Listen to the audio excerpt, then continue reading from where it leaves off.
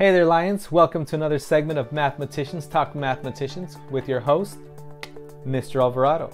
You might be asking yourself, hey, it takes a mathematician to talk mathematicians. And in case you guys didn't know, I too am a mathematician. I'm actually an applied mathematician from Cal State Fullerton. Here is a very rare picture of me in my younger days. Boom, with a head full of hair and no beard.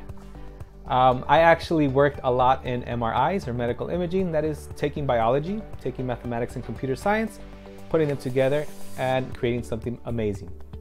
I also worked in missile development for the military, uh, which again, a lot of mathematics, a lot of computer science. But we're not here to talk about me. I only bring this up to give you guys a little bit of context as to why I chose the next two mathematicians. So, first mathematician we're going to talk about today is Dr. Fern Hunt, born in 1948 and still delivering amazing lectures. She too is an applied mathematician. She got her PhD from NYU, one of the top five universities for mathematics. Her focus was on biomathematics. Again, very similar, taking biology, taking mathematics, making something amazing. Some really cool stuff going on in, in biomathematics right now is using 3D printers with something called BioInk to create um, like noses or ears for people who have lost them, and then they attach them and it actually fits and it actually functions. So bio ink and mathematics, amazing, huh? She also did a lot of work in patterns and genetic variation. So for you X-Men fans out there, looking at those patterns and genetics, uh, which links very closely to chaos theory, which is finding patterns or everything in life has a pattern. It's just a matter of finding that pattern.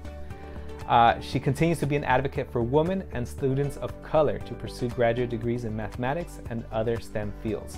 So we definitely need more women in mathematics and in computer science. There's a growing field. All you young ladies out there, computer science is the future.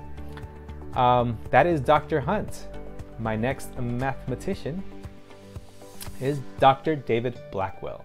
Born in 1948 and sadly passed away in 2010 he is a statistician from, uh, received his PhD from UC Illinois.